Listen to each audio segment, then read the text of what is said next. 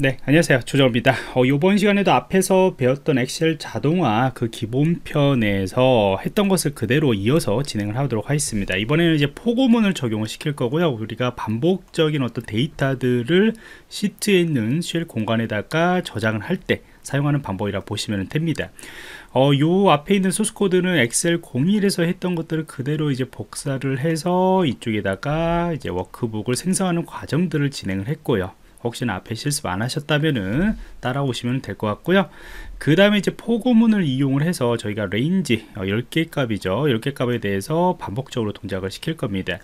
어, 우리가 이제 포고문 같은 경우에는 그 자동화를 할때 굉장히 필수 아이템이라 보시면 되죠. 어떤 데이터든 여러분들이 대량의 데이터를 가져오고 그것을 각각의 시트를 선택을 해 가지고 하나하나 셀에다 집어넣지는 않을 거란 말이죠 그래서 포고문을 통해 가지고 그 데이터 가져온 만큼 책정을 해 가지고 나중에는 이것을 동작을 시켜 줄 겁니다.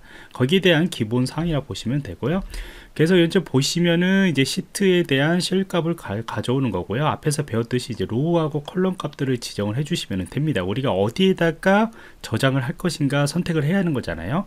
그래서 요 같은 경우는 이제 엑셀 파일에 이제 첫 번째에다가 열에다가 쭉 집어 넣는 거죠. 행을 이렇게 쭉쭉쭉쭉쭉 데이터를 10개를 이제 우리가 가입 그 어, 저장을 한다. 이렇게 명령어가 수행되는 것을 볼 수가 있습니다. 그래서 i 플러스 1만큼. 그래서 이 포고문에서 지금 현재 range로 0부터 9까지 이제 동작을 하게 될 건데 그것이 하나씩 하나씩 들어가면서 동작을 시켜주게 되는 것이고요.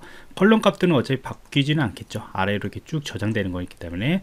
나중에 여러분들이 뭐 구구단을 작성을 한다거나 여러 데이터들을 이제 행과 열을 같이 복사를 한다면은 얘도 바뀌게 되겠죠.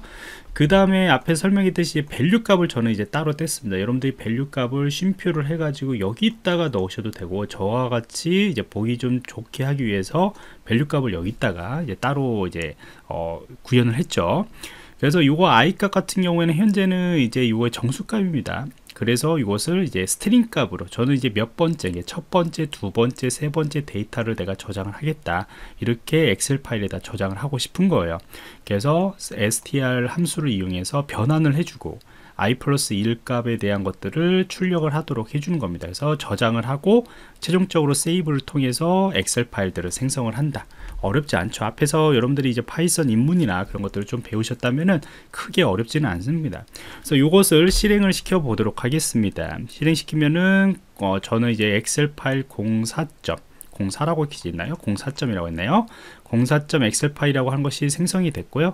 여기 보시면은 천천히 이렇게 저희가 데이터를 이게, 이게 좀 이상해요. 저 지워져요, 자고요.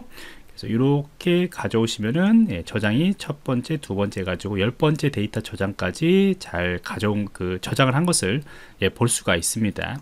그래서 이렇게 가져온 것을 확인하고 저희가 우선 지우고요. 음, 요거 같은 경우에는 이제 뒤에서 이제 추가적으로 제가 또 한번 보도록 하겠습니다. 얘를 그냥 어, 생성을 시켜 놔야겠네요. 자, 그러면은 이제 좀 아쉬운 것이 있죠. 어떤 것이 있냐면은 앞에 것도 그렇고 이제 두 번째 것도 그렇고 이거는 저희가 자꾸 제가 이제 이거 신경 써가지고 이렇게 늘렸잖아요. 이렇게 하는 것이 아니고 생성을 될 때 이 넓이 값 그러니까 이게 시트에 있는 안에 있는 쉘이 들어가는 그 넓이 값들을 우리가 지정을 해주고 싶다. 보통 넓이 값은 이제 width라고 보통 하고 이거는 이제 height라고 이야기를 하잖아요. 그래서 이것을 조정을 할 수 있는 함수가 또 있습니다. 그래서 그걸 이제 반영을 할 겁니다. 그것이 바로 05.py 파일 그 파이썬 파일이고요. 여기 보시면 딱 한 줄이 이제 추가가 됐습니다. 그래서 우리가 가져왔던 시트에서 column dimensions라고 하는 underbar dimensions라고 하는 요것을 여러분들이 기능을 활용하시면 됩니다. 후에도 요거 되게 많이 사용을 하게 될 건데 나중에 또 나오면 더 추가적으로 설명을 드릴 거고요 우선은 가능한지 좀 보도록 할게요. 그래서 어, A라고 하는 기재를 하면은 이제 A열 쪽에 관련된 것들을 선택을 하게 되는 거고요. 그것을 width 값을 25를 저희가 음, 늘리겠다. width 값을 이제 지정 이렇게 width 값을 늘리겠다라고 하는 것이죠. 그래서 여기에서 보시면 요거죠. 요거에 대한 값들을 내가 width 값을 이제 25로 저희가 지정을 해주겠다. 요 값도 당연히 이제 나중에 여러분들이 선택해 가지고 할 수도 있겠죠. 자 그래서 이렇게 하고 난 뒤에 한번 요거는 이제 공오점 엑셀 파일로 해가지고 따로 우리가 생성을 한번 해보도록 하겠습니다. 어떤 차이가 있는지 봐야겠죠. 자 그래서 앞에서 작성됐던 것은 없죠. width 값이 좁아 가지고 데이터가 이렇게 좁아 보이고요. 그 다음에 공오라고 하는 것들은 넓죠.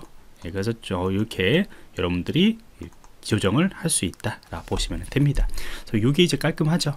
그래서 하나의 그런 기능도 제가 추가적으로 또 설명을 드렸습니다.